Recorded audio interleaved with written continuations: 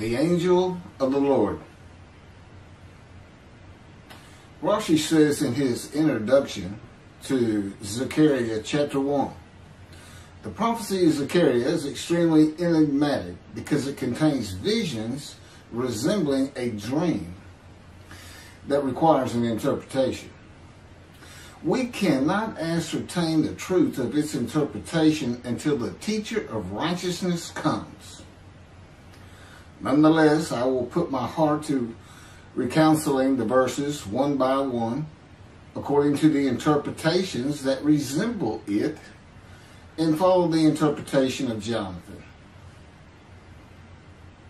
This is God's test for the Jewish people, in particular the Jewish leaders. God's test of who the descendant of David is. The man described in Isaiah 53, the teacher of righteousness. That's who Rashi, known, known as one of the first rabbis to say that Isaiah 53 described the people, uh, the Jewish people, as uh, the patriarch Israel. Then here he is in Zechariah saying, um, we got to have the, uh, to, to know the truth of at least chapter 1 of Zechariah, to know its truth, because we can't do it. And, and no Jewish man, religious, academic, commentator, or otherwise, has ever had the answer to this. And yet this video is going to give it to you. Why? I'm a teacher of righteousness. This is Zechariah chapters 1, chapter 1, verses 7 through 12. That's the preamble that Rashi leads into before he starts his commentary. And this is in Midrash form. That's where I take parts of a verse and interpret each uh, uh, in individual segments. Verse 7. On the 24th day of the 11th month of the second year of Darius, the month of Shebat, this word of the Lord came to the prophet Zechariah, son of Berechiah, son of Iddo. This word of the Lord.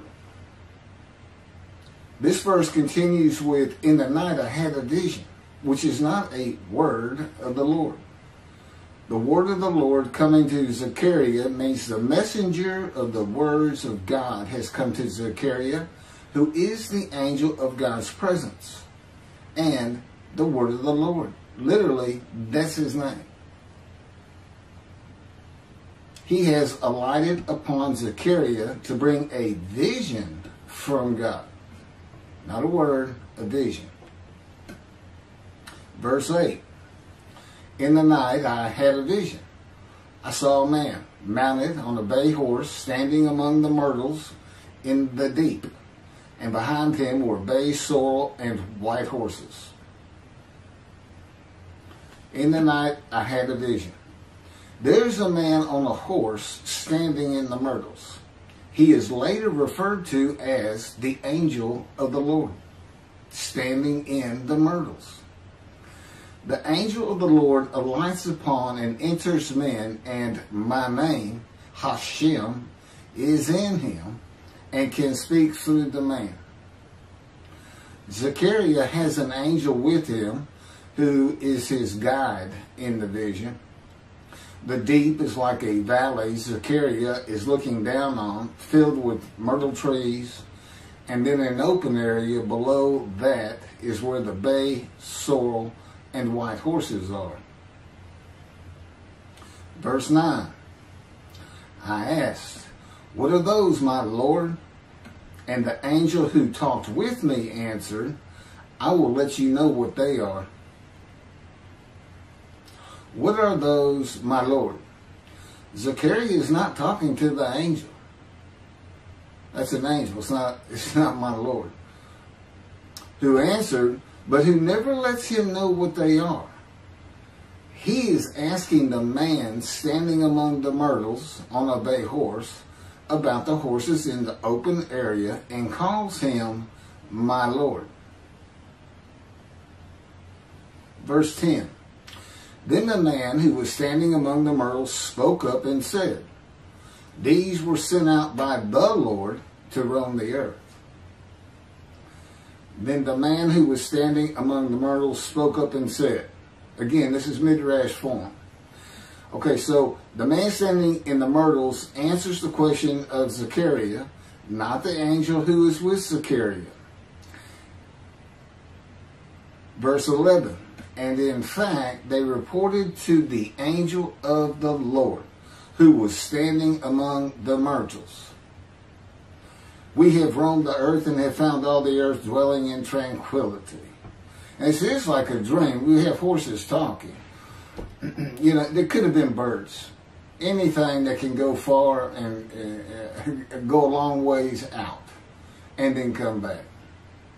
In this case, for this story or for this dream that was given Zechariah, it's horses. And in fact, they reported to the angel of the Lord. They who reported are the horses who have gone to and fro throughout the earth, and they spoke the report to the angel of the Lord, who was standing among the myrtles. The angel of the Lord, who was standing among the myrtles, has alighted upon and entered the man standing amongst the myrtles. The angel of the Lord is using this man as his visible presence. You cannot see the angel of the Lord. Just as he once used a burning bush for his visible presence, and God spoke through him to Moses. Not just as his visible presence, he also used the man to say, These were sent out by the Lord to roam the earth. In other words, it sounded like the answer was coming from this man. But it's coming from the angel of the Lord, and God is in that angel, his presence. Because that's the angel of his presence. You can find that in Isaiah chapter 63. I don't recall the verse. I never see anything on the angel of his presence. Wherever God's presence is, the presence that enters the temple, I never hear any mention of the angel that has to be with him. Why? It's the angel of his presence. Who is the angel of the Lord. Yeah, I believe, and I'm not certain about this, but I've, I've heard it at least one or two times, and that is Christianity believes the angel of the Lord is Jesus Christ. Thereupon the angel of the Lord exclaimed, O Lord of hosts, how long will you withhold pardon from Jerusalem and the towns of Judah? Which he placed under a curse 70 years ago. Thereupon the angel of the Lord exclaimed. Okay, so the angel of the Lord exclaimed through the man. Zechariah heard the words come from the man standing in the myrtles. It is the only way Zechariah could have heard the words. The angel of the Lord can only speak to the man he has alighted upon. Ezekiel describes this as a spirit entered into me and set me upon my feet, and I heard what was being spoken to me. O Lord of hosts, how long will you withhold pardon from Jerusalem and the towns of Judah, which you placed under a curse 70 years ago? The following verses are from the book of Isaiah regarding this curse. Isaiah chapter 43, verse 2. So I profaned the holy princes. I abandoned Jacob to proscription and Israel to mockery. That, of course, is God speaking. The profaning of the holy princesses is God's prophecy of the banishment of King Jeconiah and all his offspring from ever ruling over Judah and Jerusalem again. The line of the kings of Judah ended. The line described king by king in the first book of the New Testament of Christianity. the line of Jesus.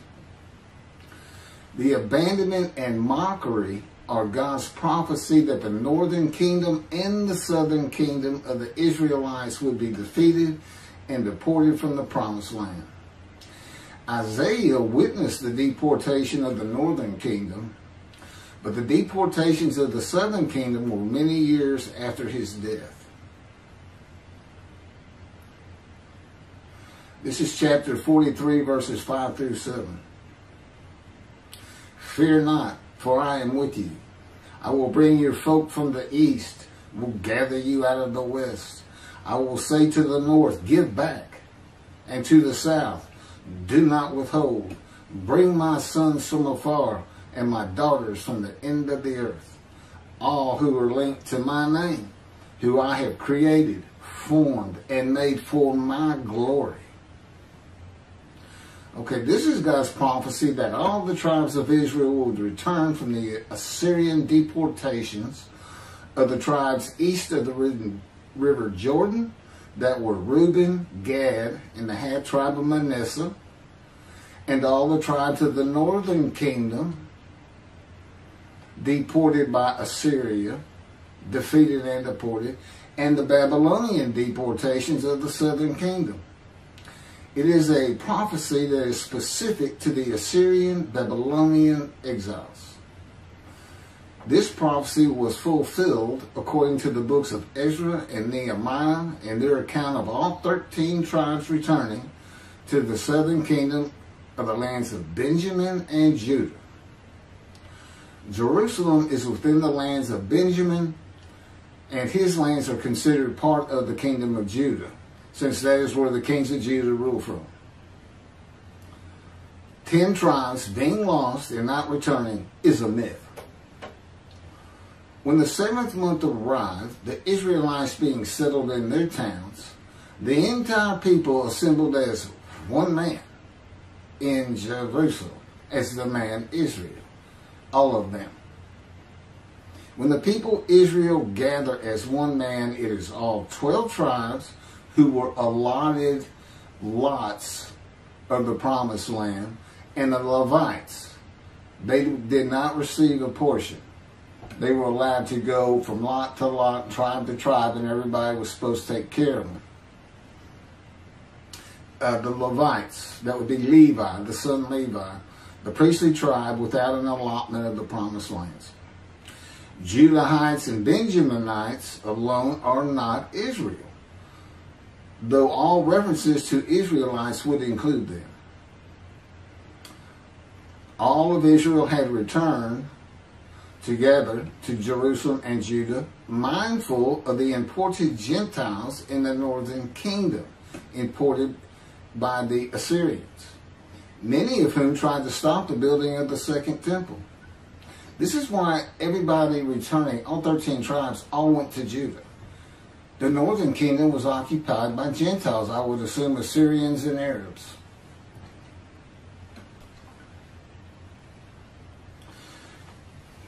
This is 1 Chronicles chapter 9 verses 2 and 3. The first to settle in their towns on their property were Israelites, priests, Levites, and temple servants while some of the Judahites and some of the Benjamites and some of the Ephraimites and Manassesites settled in Jerusalem. That would be Ephraim and Manasseh. Manasseh was such a large tribe, it had to be broken in. It was broken in two. Half of it uh, set up, their lot allotment was east of the River Jordan by about where Edom would be and, and well, that was the tribe of Gad, um, not Edom, um, Gilead, where the Tishbite, Elijah, the Gentile, was an inhabitant. Ramoth Gilead.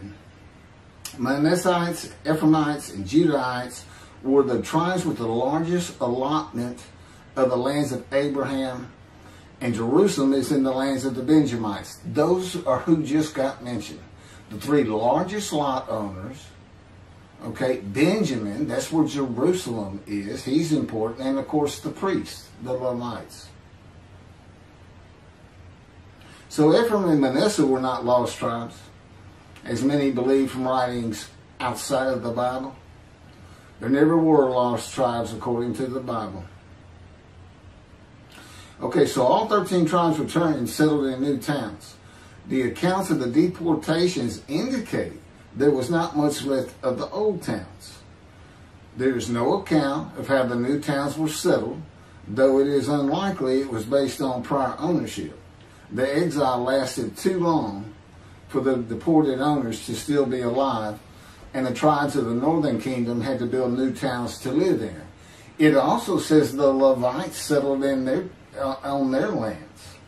So everybody had to pick and choose, and you know, I'm sure the the strong and wealthy got the best places, and and and again, many just settled in Jerusalem.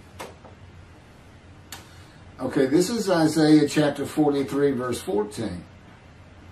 Thus said the Lord, your Redeemer, the Holy One of Israel, For your sake I send to Babylon. I will bring down all her bars, and the Chaldeans shall raise their voice in lamentation. This is God's prophecy that Assyria would be conquered by the Babylonians, who were defeated by the Chaldeans.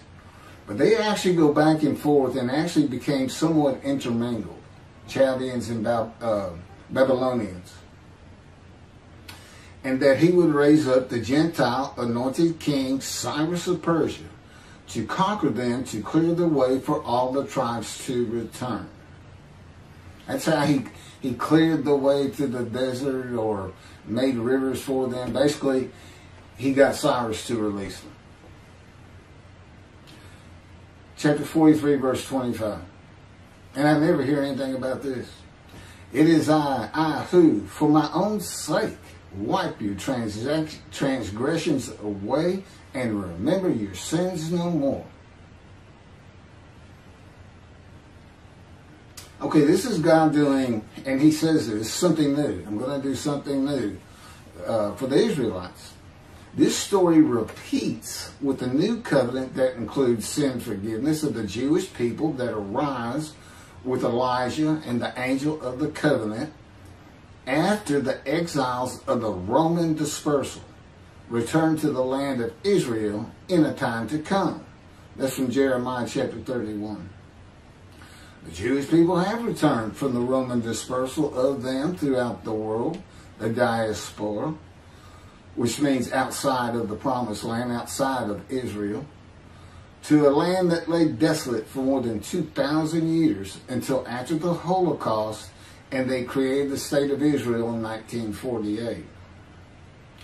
70 years later, and that's funny too because they talk about a curse uh, of 70 years. That 70 years, I believe, just applies to the last of three deportations of, of Judah and the defeat by the Babylonians.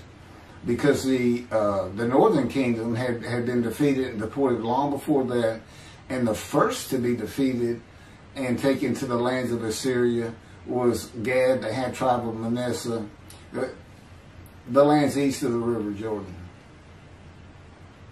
Seventy years later, the land blooms again, and Jerusalem has been rebuilt as a great city larger than it was in ancient times, according to God's words in Jeremiah 31.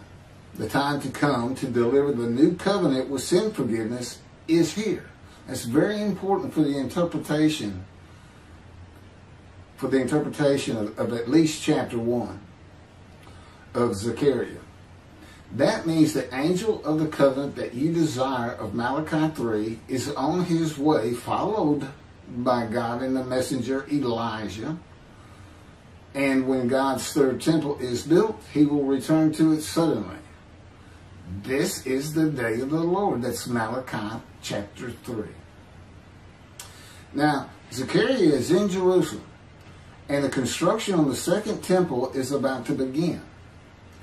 Isaiah has written God's words of sin forgiveness, which would have removed the curse long before this when they were returning, when the remnant of the 13 tribes was returning.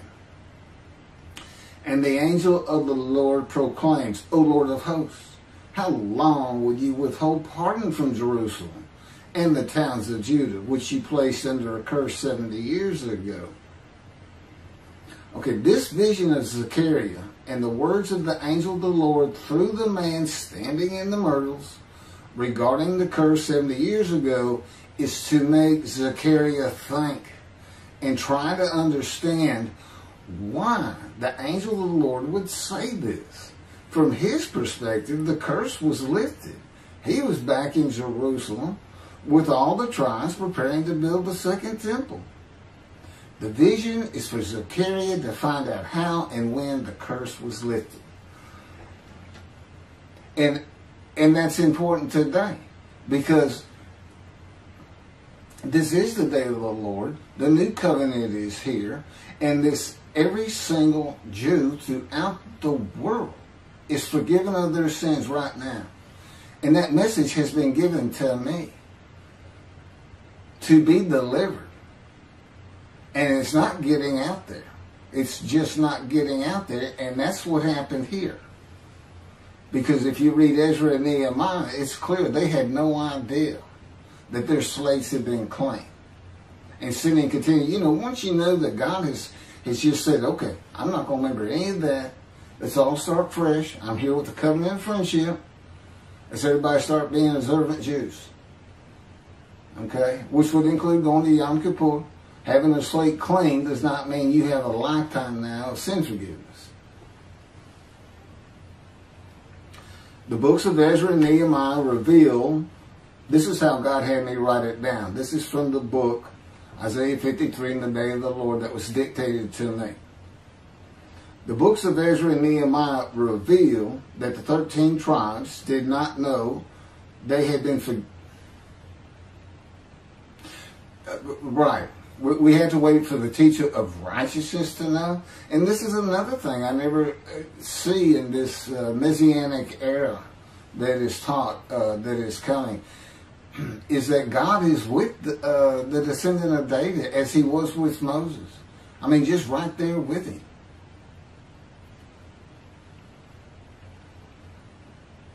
The books of Ezra and Nehemiah reveal that the 13 tribes did not know they had been forgiven of their sins to be a holy seed in the building of the second temple. If people know they have been forgiven and have a clean slate from past transgressions against God and His laws, they are more likely to stop their sinful ways and abide by His laws in the future. The scroll of Isaiah needs to be found and interpreted by Zechariah and the religious leaders so they will know of God's forgiveness of their sins. God will be returning before the temple is built. That would be the third temple. To test the devotion of his righteous servant and make him suitable for his purpose, which might prosper. That includes the building of the third temple. This would begin when his spirit alights upon the anointed one, Mashiach. His presence with his righteous servant will be necessary for the temple to be rebuilt. Islam will not freely hand over their third most holy site to Israel and abandon the Dome of the Rock Mosque, a mosque that sits on the Temple Mount purchased by King David for God, the most holy site of the Jewish people. With God is the angel of his presence who is already on the way. You want me to skip that? Okay, this has been covered in other videos more than once.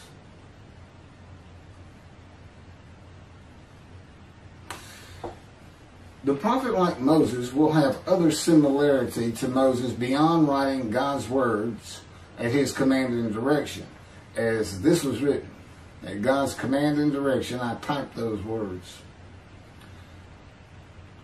To the greatest degree possible for any human being, Moshe's identity and existence became one with the Creator. Now that's how you who you're looking for when you say the prophet like Moses. It's not Joshua. I've heard that one, which is, you know, it says right there on that page, there's never been another prophet like Moses. Well, his attendant Joshua standing right there. If that's anyway, Moshe's identity and existence became one with the Creator. I don't think you can say that of Joshua. I don't think you can say that of any man until the Spirit of God alights upon him in chapter 11 of Isaiah. He surrendered himself to God to the extent that our sages say the Shekinah, divine presence, which is the angel of his presence who is the Holy Spirit. He's an angel and his body is not human form with wings. His body is the Spirit of God. Wherever God is, his Spirit is. Wherever his presence is, the angel of his presence is. They're always together. So when they align upon a man and say, uh, okay, we have tasks for you, that man immediately becomes a man in divine beings. And that's that's the Shekinah. That's the Spirit of God and the presence of God entering into the temple, which would include the angel of his presence. The Shekinah spoke through Moshe's throat. As I have mentioned, God can speak through me. You're only going to know it just like with the man standing in the myrtles by the words that are spoken. Okay? Because it's my voice. But it's not me. You know, I can tell the difference. You can't other than those would be how God would state it. And you can, if you watch closely, you can see it happen in all these videos. I mean, for the most part, where God just, you know, just throws out a sentence or two. And I, I just keep going, you know. I let him get done and I just pick up from there. We've been working on this for over 13 years. That's from the Zohar, Volume 3, page 232a. Uh, and then it says, i.e., he was God's veritable mouthpiece on this earth. That's from the Sefer HaSichos 5749, volume 1, page 290, in a footnote. The prophet, like Moses, will also have the answer to these questions. Quote, the great Jewish philosophers try to understand the question of how Moses heard God literally. Some insisting that God spoke actual words and Moses heard them with his ears, while others suggest that God's speech was communicated silently to Moses' intellect and only uttered in sound by Moses himself. Maimonides, Rambam, even as he affirmed the communication between God and Moses as a fundamental Jewish belief, ultimately conceded the mysteriousness of that process. The entire Torah reached Moses from God in a manner which is figuratively described as speech, but no one has ever known how that took place except Moses himself, whom that speech reached. That's commentary on the Mishnah Sanhedrin chapter 1. Well, I have the answers, and I've been telling you the answers. God is in his spirit. Spirit enters into you because we find it in Ezekiel. There's where God tells you. God was telling Ezekiel, Ezekiel, get up on your feet. Ezekiel says, at that very moment, a spirit entered into me and I could hear the words of God. There it is. When he enters him. Now, He's not hearing that through his ears. There's there's the first question answered. It's not to your ears. And and there is a silent knowing. That's what we call it, what God has taught me. Now generally I just hear words as though they came in through my ears and they're in my mind, as though my eyes and my ears had perceived.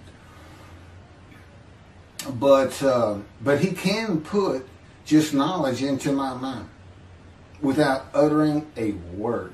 And it's kind of can be pointed out uh, uh, easiest with when he comes to a man and like he came to Samuel and Samuel just says, here I am. It's as though before he speaks to you, and this is what happened with me, he put in a knowledge in my mind that the God of creation was about to speak to me. And so when he did speak, it was as though he had always been there speaking to me, not unlike how Adam would have felt. But uh,